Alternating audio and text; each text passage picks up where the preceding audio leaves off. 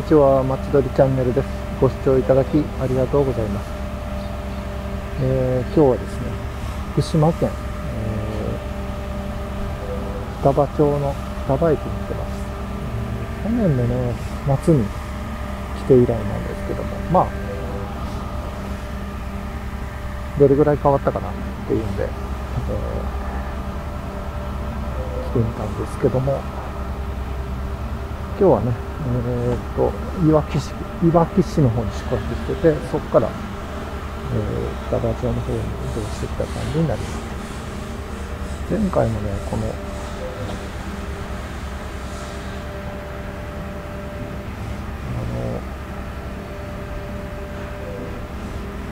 帰還困難区域とか、その辺に関するね、えー、注力したと思うんですけども、引き続きね、えー、まあ、立ち入り禁止区域とかもあるみたいだったりで、あと、えー、結構ね、今回車で来たんですけども、えー、観困難区域の道路が、まあ、封鎖されてたりで、まあ、まだまだね、自由にこう、いろんなとこに行けるというわけではないんですけども、ま、こういう注意書きがありますので、映しておきます。もしね、えー、双葉町来られる方がいたら、えー、まあ、注意いただければなと思います。あの、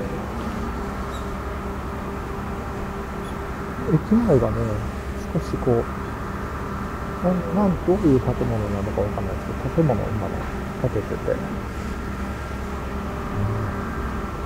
まあ、そういうのもあってね、結構、人の行き来というかね、往来もあって、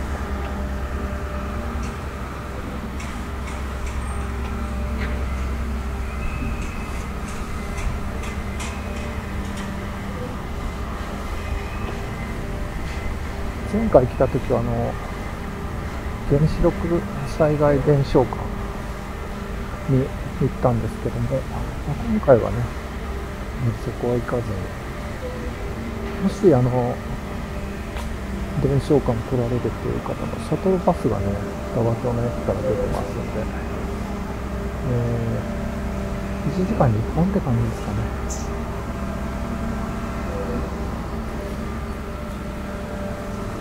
これですね。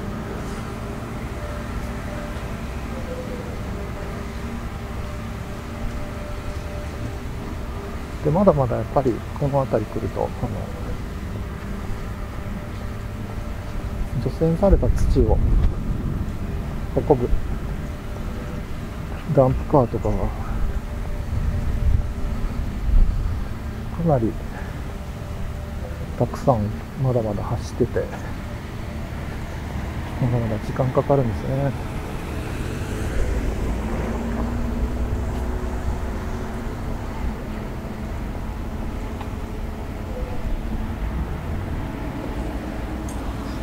で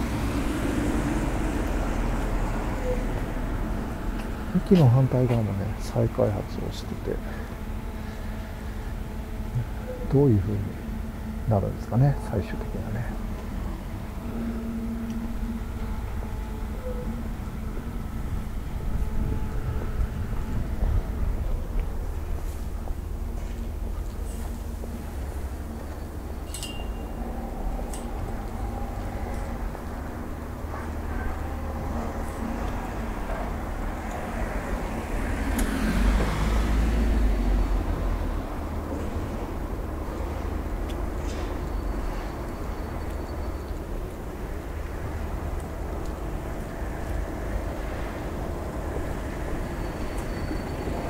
完成なんですかね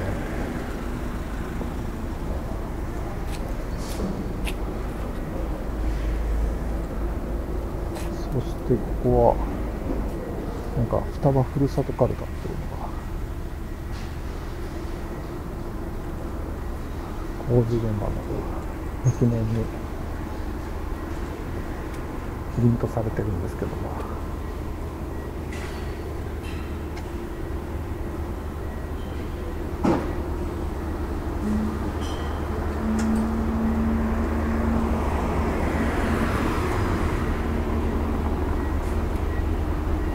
建物の解体もどんどん進んでるんでしょうかね。1年経ってみてこんな感じになったのか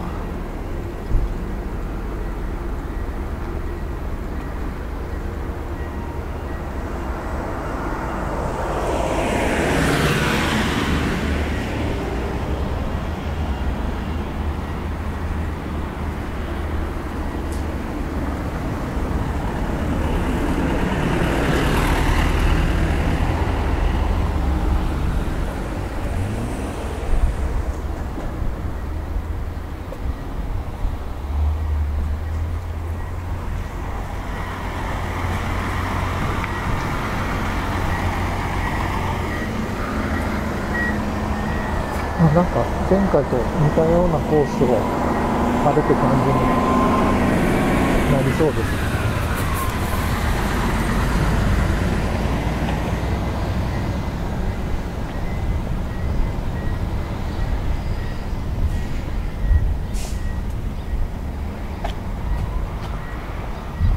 前回もねこの辺を右に曲がってね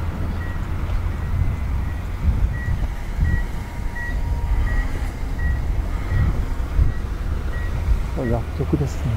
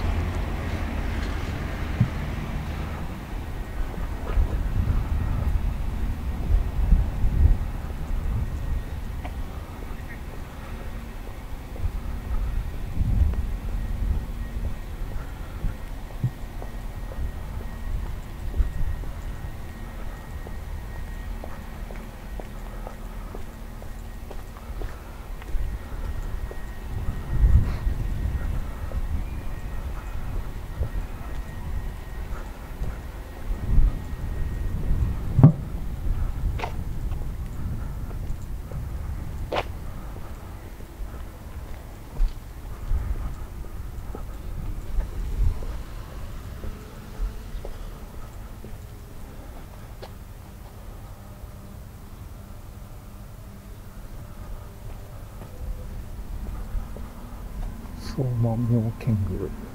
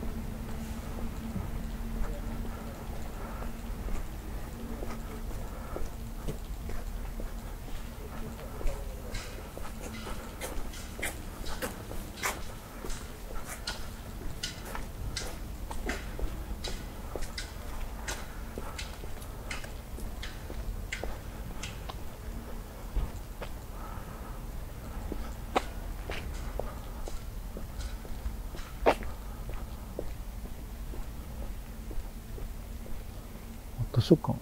民族資料館。双葉町児童館。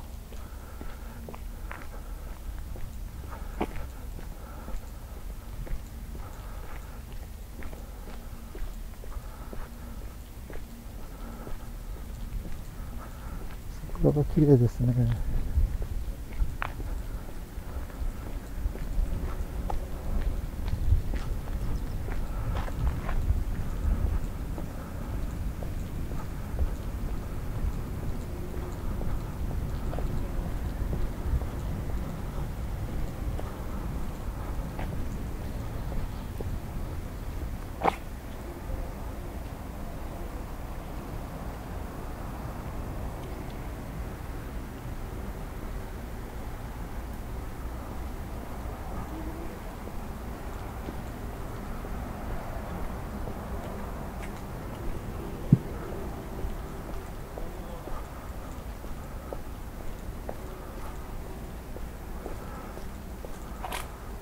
あ自動化ですね。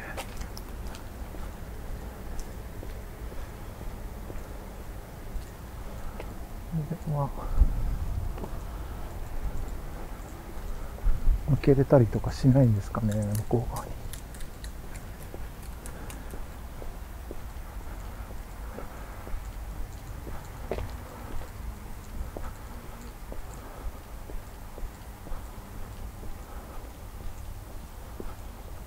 けそうですかね。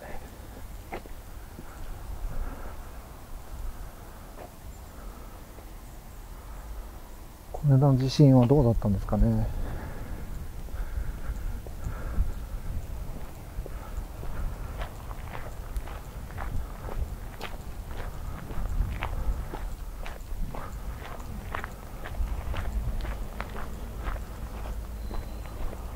あここは抜けれそうに。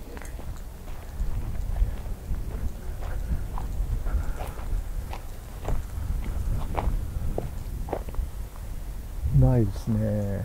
ちょっと戻るしかなさそうです。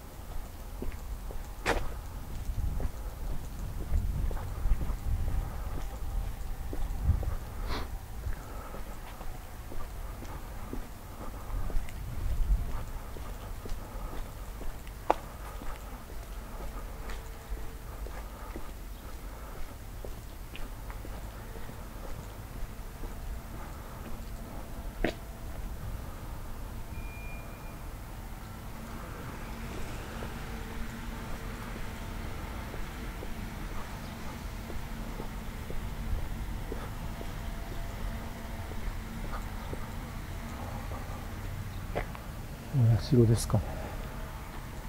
こっちもお社ですかね。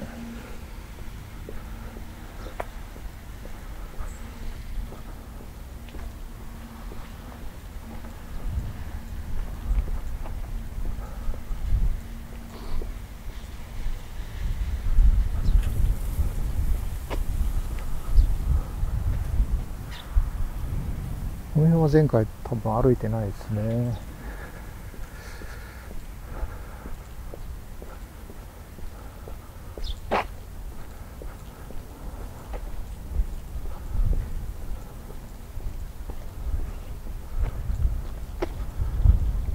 ちょっとですね、あそこに流れてる川の横を歩いたような気がするんですけども、前回はね、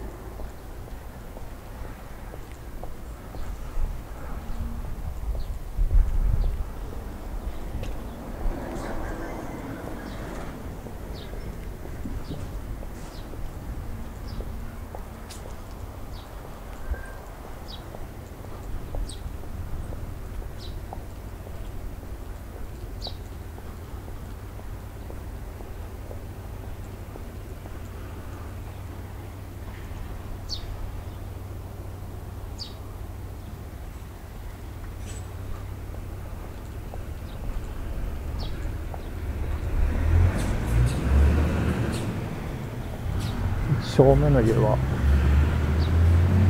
もう家が潰れてきてますね。あちょっと桜が綺麗なこ。れ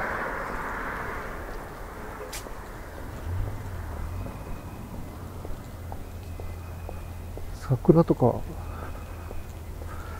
お世話する人いるんですかね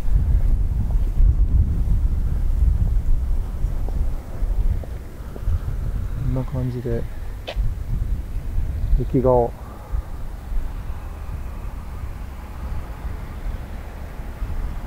もう誰が書いてるんですかね。なんか QR コードを読み取ってみましょうか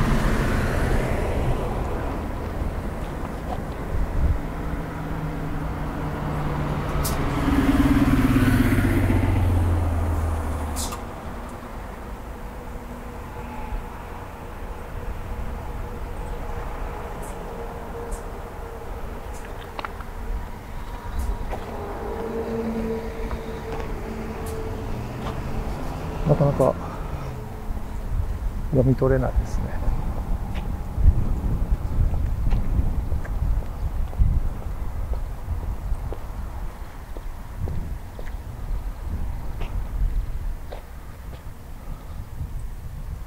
ちゃんと桜お世話する人がいるんですかね。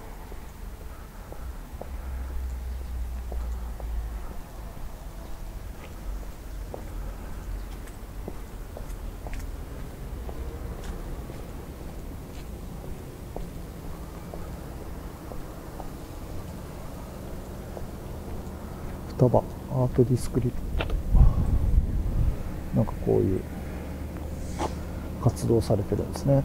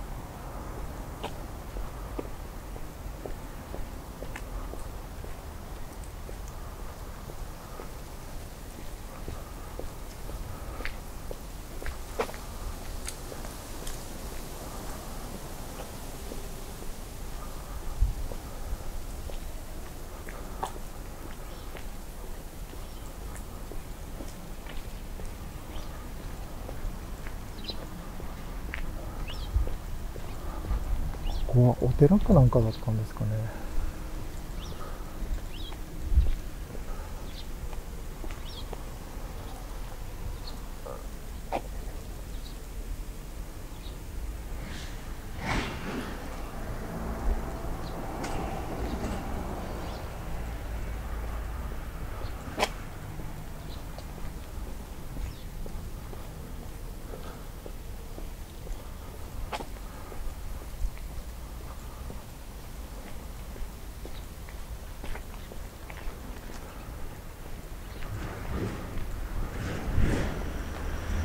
この、道路、前回より工事が進んでる気がします。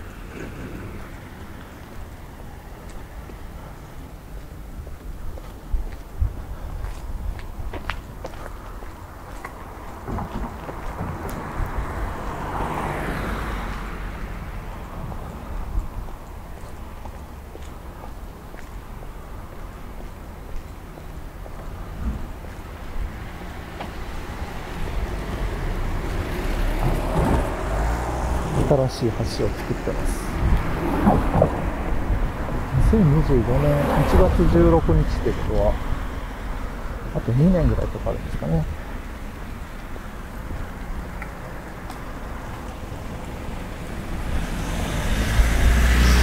なんかやっぱり建物が減ってきてる気がしますよね。どうなんでしょう。なんかここも角にも建物があったような記憶があるんですけど。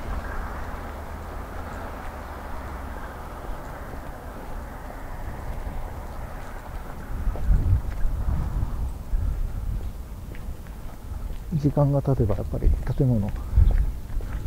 徐々にやっぱり解体して減っていく感じなんでしょうかね。ここも商店街だったみたいなんですけど。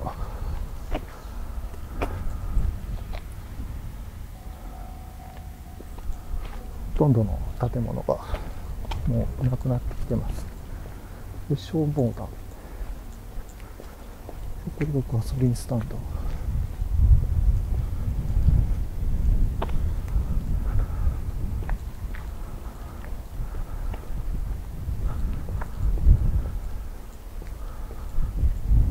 食料品店ですか、ね、だったんでしょうか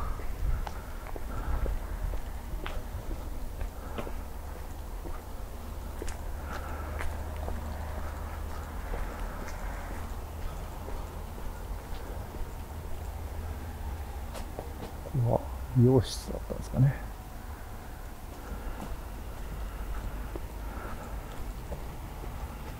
ちょっと目を渡らせていただいて駅の方にね戻っていきたいと思います。1年に1回ぐらいはちょっとなんか来てどういう風になっていくのか続けたい感じはするんですけど。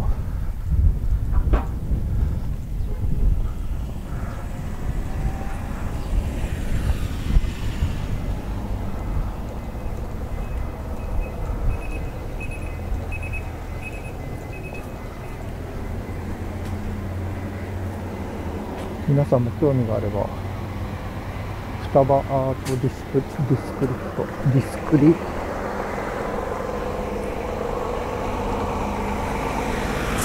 ディスクリプト。でちょっと検索してみてください。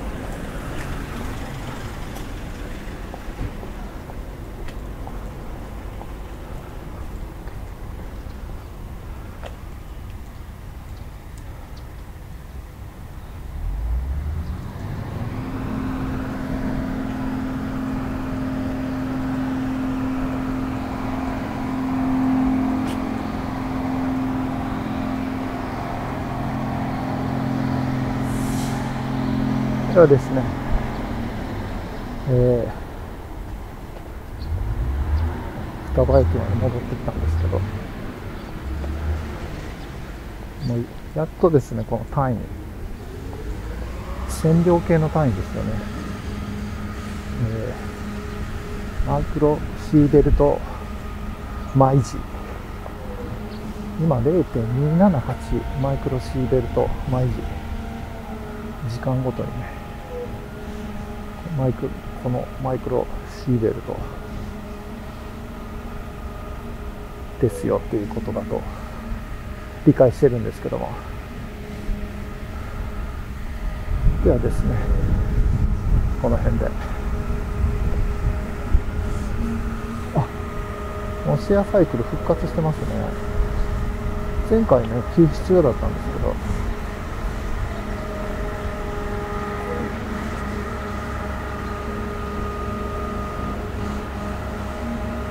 えー、っと、なんか100円入れて100円戻ってくるという、そういうシェアサイクルなんですね。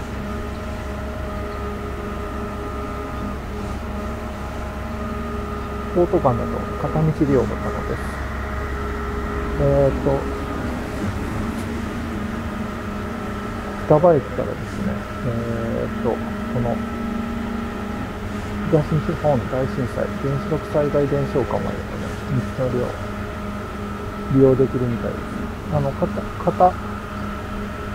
片道はバス片道はこのシェアサイクルを利用するっていう感じで行けるみたいですねではですね、えー、この辺りで撮影を終えたいと思います本日もご視聴ありがとうございました気に入っていただけたらですねチャンネル登録いいねよろしくお願いします。では、ありがとうございました。